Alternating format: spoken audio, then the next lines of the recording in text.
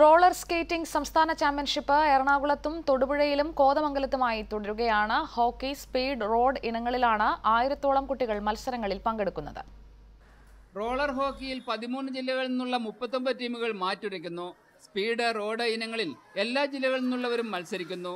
ഓരോ വർഷവും നൂറും നൂറ്റമ്പതും കുട്ടികളാണ് കൂടുതലായി സംസ്ഥാന ചാമ്പ്യൻഷിപ്പിലേക്ക് എത്തുന്നത്. പക്ഷേ മികച്ച നേട്ടമുണ്ടാക്കുന്നവർക്കടക്കം ദേശീയ തലത്തിൽ വരെ കഷ്ടിച്ചെത്താനേ കഴിയാറുള്ളൂ. ഇന്റർനാഷണൽ ലെവലിൽ ഇന്ത്യയ്ക്ക് മെഡലുകൾ ധാരാളമുണ്ട്. ഏഷ്യൻ ഗെയിംസിൽ മെഡൽ കിട്ടിയിട്ടുണ്ട് കർണാടകയ്ക്കൊക്കെ. പക്ഷേ കേരളത്തിന്റെ അവസ്ഥ വളരെ മോശമാണ്.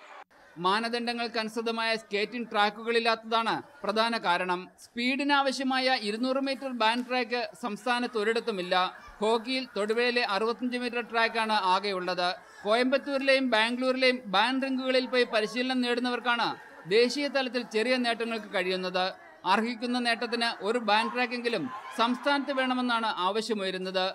ഏഷ്യാനെറ്റ് ന്യൂസ് തൊടുപുഴ.